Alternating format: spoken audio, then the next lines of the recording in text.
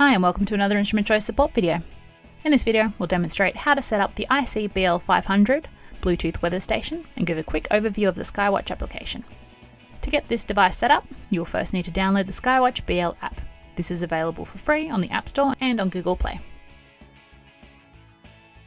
Read and accept the terms and conditions. The app will now automatically begin to scan for the Skywatch. To start the Skywatch, press the button in the middle of the tube. The anemometer will pop up and the blue light will start to flash, indicating the device is in Bluetooth discovery mode. And just like that, the Skywatch is connected to the app. Instantly you can see the wind, temperature, UV, humidity and pressure measurements appear on the screen.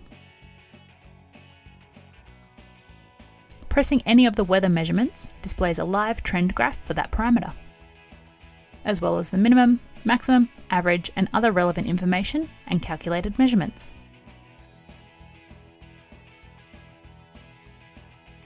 Pressing I on the top right displays information on the sensor. Here you can rename the sensor and disconnect it.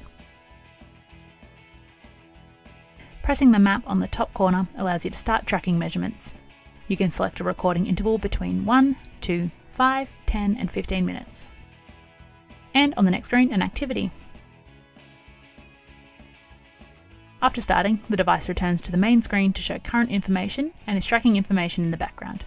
Once you have completed your activity, if you return to the map, you will see a breakdown of the measurements including start time, duration, number of measurements, recording interval, total distance, and the selected activity. Press stop tracking to finish. The top right is the menu button. Here you can select what you view. The top is live. This is the current readings on the screen. This is the default when you turn the meter on. Map, this shows you where your Skywatch is located.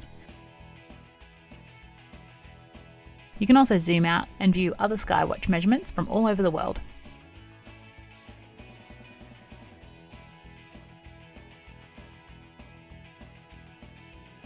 Under the History tab, you will find all of your saved measurements. Sensors, this displays the list of sensors connected.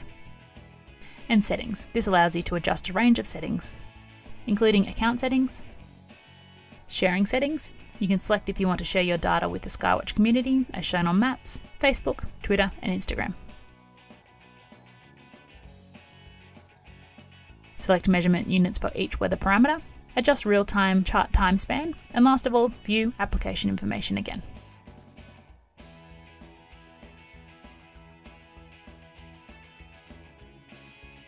This handheld Bluetooth weather station is incredibly straightforward to use and perfect for anyone wanting precise hyperlocal weather information on the go. For more information on this meter, speak to an instrument choice scientist.